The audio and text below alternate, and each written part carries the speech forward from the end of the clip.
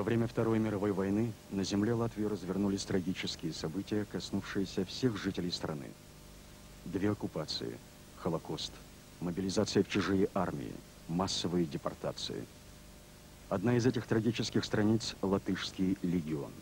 С него мы и начинаем попытку оценить противоречивые события истории.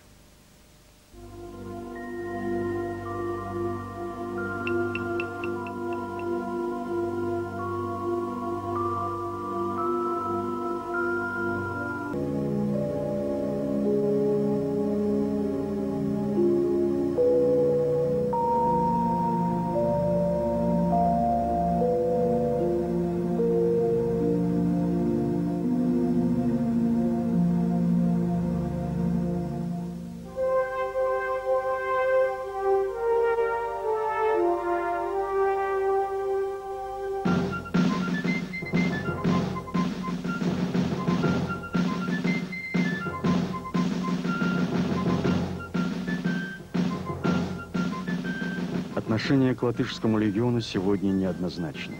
Зачастую его определяет незнание или нежелание знать правду. Но мы не можем отказаться от своей истории, в том числе и от ее трагических страниц.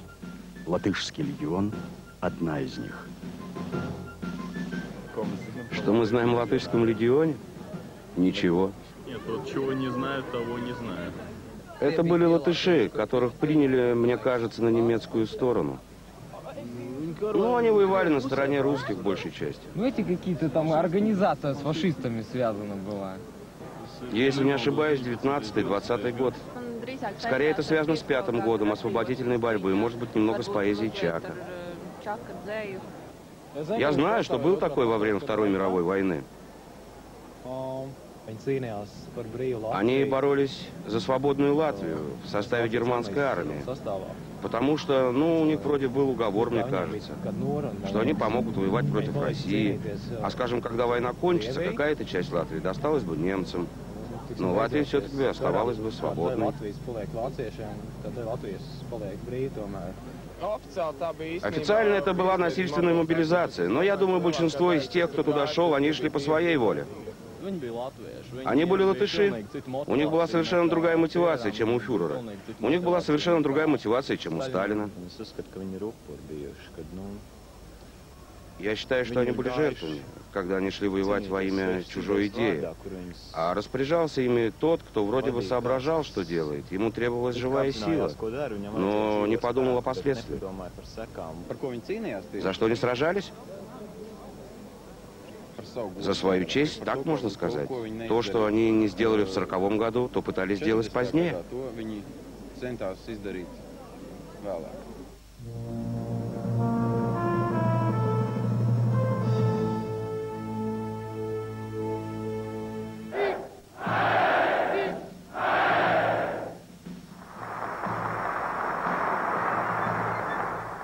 Пакт Молотова-Риббентропа. Его секретный протокол позволил Советскому Союзу летом 1940 года аннексировать Латвию.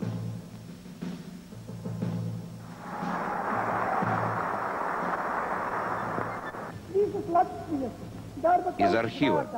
От имени всего трудового народа Латвии разрешите мне передать привет вам, депутатам Верховного Совета, Советской Социалистической Республики и великому вождю и учителю трудового народа всего мира Иосифу Виссарионовичу Сталину.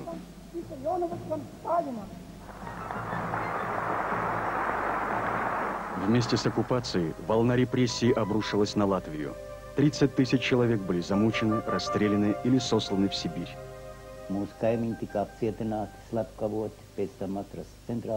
Наши соседи были арестованы, убиты.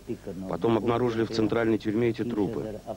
Точно так же в Букулты, у Кишезера людей арестовывали. Из отцовской родни сосланы в Сибирь целые семьи.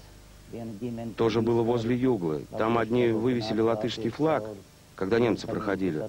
Русские, когда отступали, взяли их и расстреляли, всю семью до последнего. И детишек, только ножки торчали из земли. Нас всех это так потрясло, что отец сказал, идемте, братья, сынок, воевать против русских, чтобы они не вернулись, они нам смерть несут. biedru Увезли товарища по школе, еще волосного старейшину, хороших знакомых. Сам по счастливой случайности, нечаянно, 14 июня спасся депортация. А потом пришло время, когда призывали вступать в добровольцы. И мы не сомневались. Пошли. Я, отец и брат поехали в Ригу, и там, на улице Анос, просили добровольцами записать в латышский батальон. Ну, мне, конечно, сказали вперед идти первым. Я был тогда совсем мальчишка, 16 лет. И начальник, тот, кто нас принимал, офицер тот, говорит, сколько же вам лет? Я говорю, 16. Нет, мы вас не можем принять. Требуется разрешение отца или деда. Я говорю, смотрите, вот мой отец за спиной, спросите у него. Ну, спросили у отца, он сказал, да, мы согласны, мы должны бороться за нашу Латвию.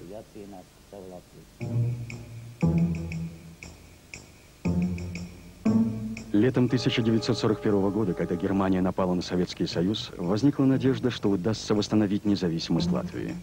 Жители встречали немецкие войска как освободителей. Но вскоре наступило разочарование. Стало ясно, что настоящими хозяевами положения в Латвии будут немцы. Оккупированные государства Балтии были немедленно включены в территориальное образование под названием Остланд.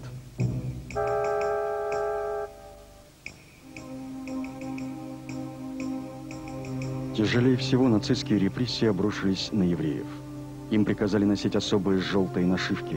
Им приходилось выносить бесчисленные унижения. Пока пропаганда разжигала вражду, немецкая служба безопасности постепенно осуществляла план уничтожения евреев. 65 тысяч латвийских евреев были расстреляны в Румбуле, в Битернеках, в Штетских дюнах. Арайс и его команда – латышское вспомогательное подразделение, которое участвовало в уничтожении евреев в Латвии. Многие все еще ошибочно связывают деятельность этой группы с латышским легионом. Был ли легион связан с палачами евреев? В основном нет. Ибо легион создан в 1943 году, а расстрелы евреев в Латвии закончились зимой 1941 года, в декабре. Тут большой временной разрыв – хотя известное число членов команды Арайса влились в Легион. Но в основном в Легионе их терпеть не могли. На них смотрели, как на толовых крыс, пытавшихся увильнуть от фронта.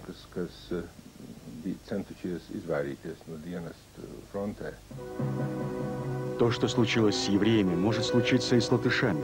Так писали в нелегальной подпольной газете «Таутас Балс» «Голос народа». Studējušā jaunatne, kas sāk izlaist tautas balsi, Газету «Таутас Балс» выпускала студенческая молодежь. Газета, выходившая раз в месяц, призывала не подчиняться немецким властям, полностью сохранить все латышское, сохранить живую силу народа и чувство собственного достоинства. Властям полностью сохранить все латышское, сохранить живую силу народа и чувство собственного достоинства. Постепенно возникали и другие группы и организации сопротивления. Однако жители Латвии оказались не готовы к организованному длительному движению сопротивления. Активисты подпольной борьбы вскоре были арестованы. Сначала арестовали редакцию, всю группу. Схватили тех, кто был тесно связан с редакцией, всего около ста человек. И нас, в свою очередь, держали в центральной тюрьме, вплоть до июня 43 -го года. В июне месяце нас перевели, посадили в грузовики и отвезли в Солоспилский лагерь.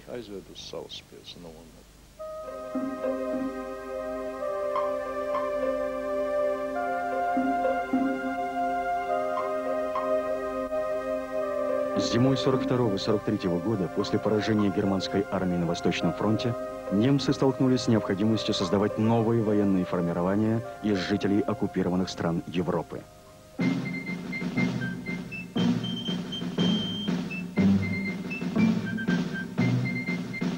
Если в Западной Европе такие воинские части состояли из добровольцев, то в Латвии большую часть легионеров мобилизовали принудительно. Чтобы способствовать успеху мобилизации, к формированию легиона в Латвии привлекли самоуправление во главе с генеральным директором внутренних дел Данкерсом –